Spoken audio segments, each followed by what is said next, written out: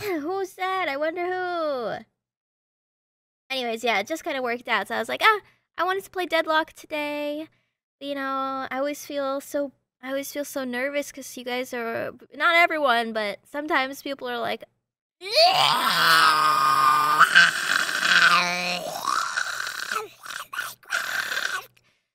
that. You know what I mean?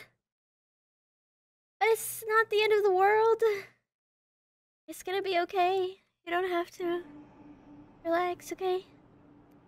Anyways, we're gonna play Deadlock.